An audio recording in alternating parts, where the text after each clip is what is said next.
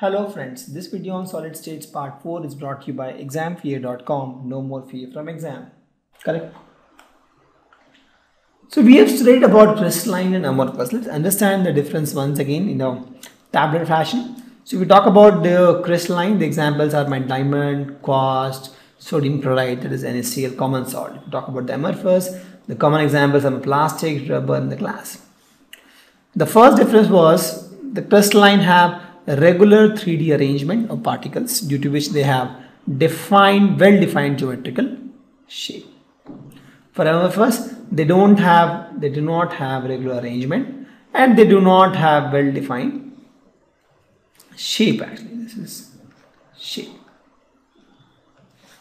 Correct? They have long range order. If you see this, if you just expand this, you'll see the same order for a long distance, maybe thousands and lakhs of molecules. These guys have, the amorphous have short range order. In fact, there's no order in this picture, there's no. They have very sharp melting point in crystalline. We saw that you heat it at a given temperature X, it melts. They don't have sharp melting points. It, it melts over a period of temperature X degrees Celsius to Y degrees Celsius. It, it melts actually, it, it slowly uh, melts. They have fixed and very high heat of fusion. High Why high? Because they are symmetrical, very strong, so they have high heat of fusion and they have less these guys have small heat of fusion but they don't these guys have fixed heat of fusion. They don't have fixed heat of fusion again. They are anisotropic. Why? Because the arrangement is fixed. If you go in this direction if you go in this direction it's all different. So they are anisotropic. Their physical property is different right? For the same crystal if you're observing from this direction or this direction since there is no arrangement you go in any direction it's almost same. So they are isotropic. Their physical property doesn't change in uh, with respect to direction. They are true solids. Crystallines are true solids but they are pseudo solids in fact they are super cooled liquids. Correct? So this crystalline show two breaks in cooling curve. We have seen this cooling curve. And this has a smooth cooling curve this crystalline is more stable more sturdy amorphous is less stable. And when you cut with a sharp tool this is something we didn't discuss I think. When you cut, cut with a sharp tool this crystalline is split into two pieces and this newly generated surface will also have plane and smooth surface. Correct? But with this amorphous when you cut have this knife actually let's this is knife and with this knife if you cut this uh, amorphous solid. They will cut into two pieces but the surface will be irregular surface. Please note here will be plain and plain and smooth surface right? Here you will get irregular surface. See crystalline and amorphous are the extreme case we discussed right? But naturally we have seen that all the substances are not pure crystal or pure amorphous. We have something called polycrystalline which is something in between crystalline and amorphous. Correct. So these are solids which composed of crystallites of varying size and orientation but they are separated by fine grain boundaries so you see they are nothing but I'll here solids composed of many crystallites of varying size and orientation separated by grain boundaries.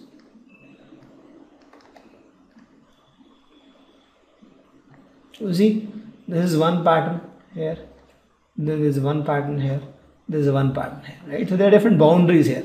Therefore, there are many crystallites like that, but they are separated by boundaries. Correct? So if you see almost all common metals, all common metals, if you see all metals, all common metals, they fall in this category and some, and some polymers also fall in this category. For example, sulfur. Sulfur occurs as polycrystals it also occurs as single crystal. It also occurs as amorphous. So sulfur exists in all three forms. Correct. And the degree of crystallinity, as we told, has a huge influence on hardness, density, transparency, etc.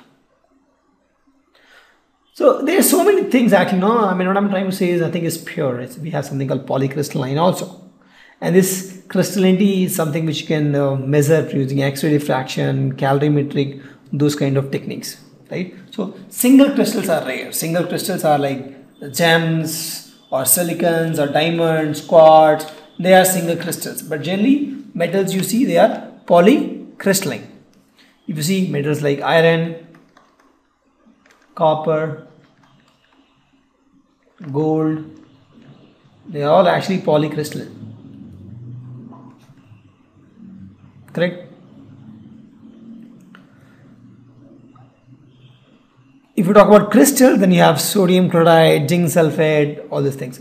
What I'm trying to say is we have something called polycrystalline, which is also there.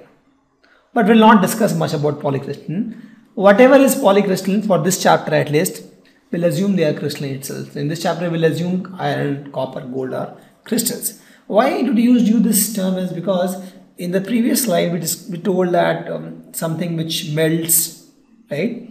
Are crystals. But if you see these they also melts sorry I told uh, amorphous but they also melt. So they, they share some properties of uh, crystalline amorphous also. But for us, now let's talk about some of the examples of these uh, solid states the crystalline, polycrystalline amorphous and the uses of these solid states. We talk about the metals like iron, copper and gold, they are polycrystalline. So these are my polycrystalline. Right? My iron, copper and gold.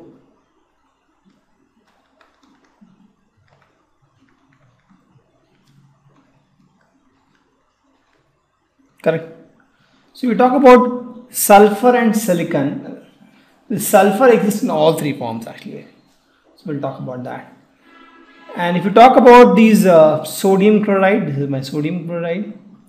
Or if you talk about this is a naphthalene and this is my zinc sulfide. Zinc sulfide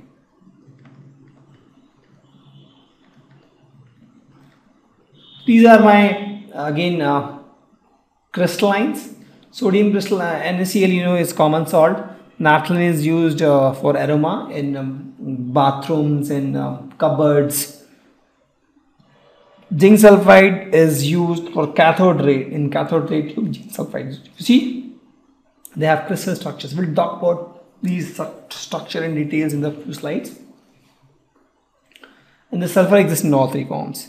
If you talk about silicon, it also exists in all three forms and uh, amorphous silicon. This is used for photovoltaic cell.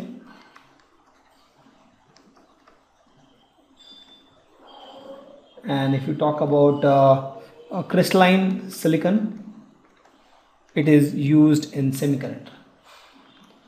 So we will talk about these uh, crystalline uh, silicon also in details. And if you talk about these uh, plastic, rubber and glass, they are my amorphous. Yeah, these are examples of my amorphous solids. This is uh, my crystalline silicon actually, it's also used in semiconductor. Thank you.